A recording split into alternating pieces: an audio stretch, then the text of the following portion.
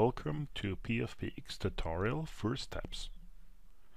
Today we would like to introduce you in PFPX for easy entry. We will go through the installation and activation process. Afterwards, we will make our first domestic flight planning.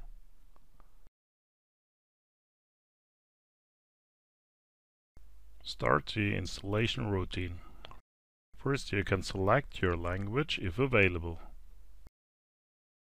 At the welcome screen select Next. Then you have to accept the license agreement. Read it carefully. You will need administrator rights. Thereafter you can change the installation path if needed with the Change button. The overview shows your selections. Next we'll start the installation.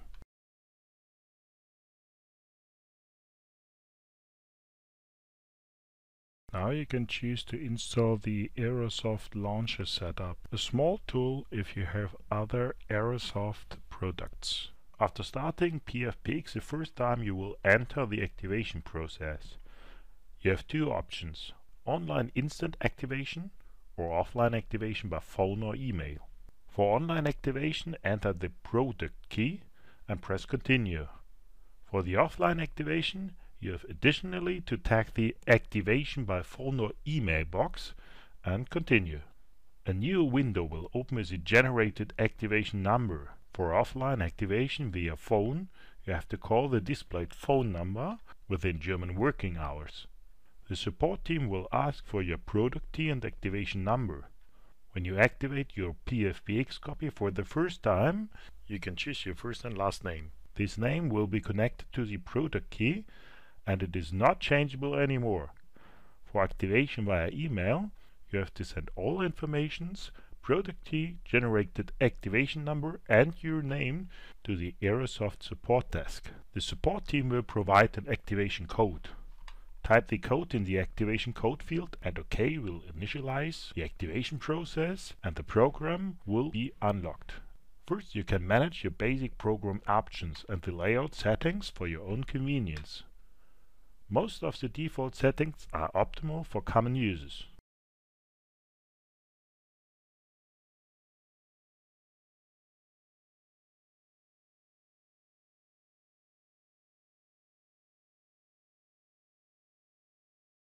When you switch to full screen mode, sometimes the window settings are not optimal for use. Therefore we offer the Reset Windows option.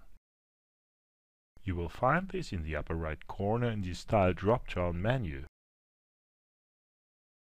For perfect use you need an active internet connection to update weather, NOTAMs and the organized track system informations. In my example the weather is offline. I show you how to set it to the online mode. Now we begin with the flight planning. First of all I'd like to show you the action button. Here you will find always the next logical working step which can be done by just one click we start with that flight. In the next window, we insert an airline code. In my example, Air Berlin. Then a call sign, departure and arrival airports can be inserted with the 4-letter ICAO or 3-letter IATA code. An additional search function is also available.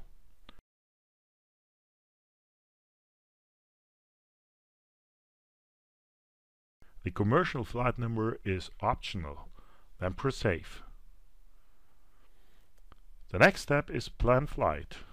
We see the message No aircraft in database and the next logical step will be offered Aircraft Database. Here you can create new airplanes from our database. As a special service we made a lot of templates for common add-ons. When selecting New from Template you can choose from a list for example PMDG 737NGX Now you only have to determine a registration for the plane. All data can still be modified. Here I change the seat capacity to 186. When finished, select Save and then Save as Aircraft. Now I have to press Apply to confirm that I choose the Delta Alpha Bravo Alpha Whiskey. The symbol beside the aircraft will turn green to show that all necessary data entries are done. Next up is the payload. Default is random payload. But with the button None and Maximum, you can also select No or Full Payload by one click. In the Payload section, the payload can also be modified or inserted manually. Next is routing. With Quick Find Route, the shortest route under consideration of the runways in use will be created and shown in the right map window. Now we're coming to the alternates. As default, the alternates with the lowest fuel burn will be selected. You also can choose one of the four offered airports. Or insert your favorite in one of the fields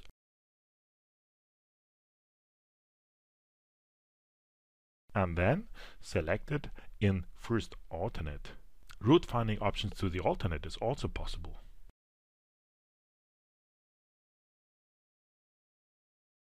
Now compute the flight. Especially when flying online with VATSIM or IVAO, a CFMU-conform flight plan is necessary. PFPX can check this for you. Press Validate and a new window with your current flight plan will show up. By pressing Validate, the flight plan will be checked and possible errors are shown below.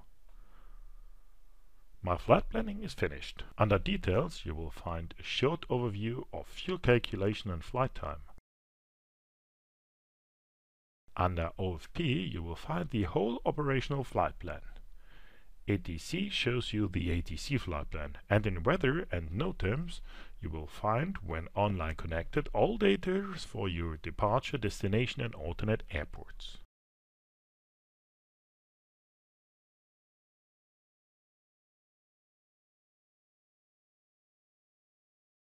By pressing a release, the flight will be transferred to the schedule. Now I can print my flight plan package. In the dialog you can choose any part to print individual to save paper. At least I would like to show you the export function of PFPX for several add-ons. This function gives you the opportunity to export your flight plan to a flight simulator add-on with an FMC or MCDU flight plan import function. First of all, you have to define the root parts of your flight simulator.